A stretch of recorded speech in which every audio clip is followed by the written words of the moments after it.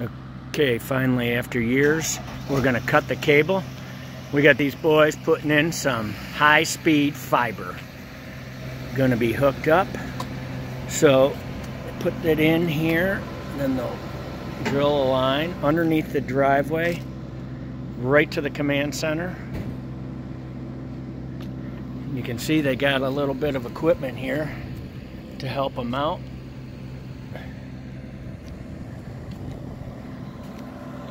And we're going to be 5 gig plus. How many gig is that fiber? Oh, uh, I'm not sure about what gig. I think it's 5 plus, I think. It's going to be a lot more than that cable company. Bye-bye cable. This is the best Christmas present I could get. Have a good day.